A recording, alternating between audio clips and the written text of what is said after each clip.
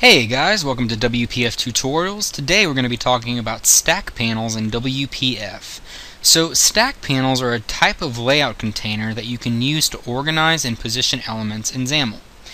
Their name basically says it all. Any element that goes into the stack panel gets stacked on the other elements in that panel.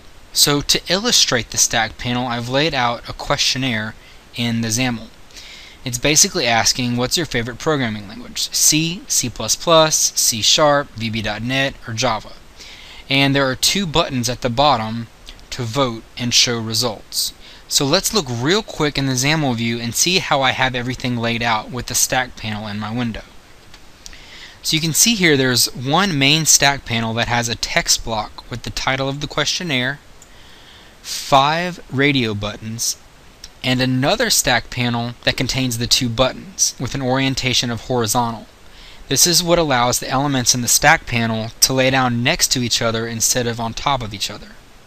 Now, for those of you out there who are curious about dynamically creating a stack panel in code, I went ahead and created the questionnaire and the code behind as well.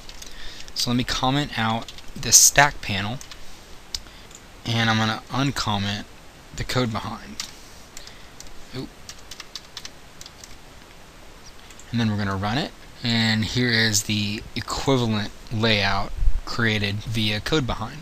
So let's look a little bit closer at what's going on in this code behind. I'm creating a new stack panel and then taking each element that I want in the stack panel and adding it to the children UI element collection of the stack panel.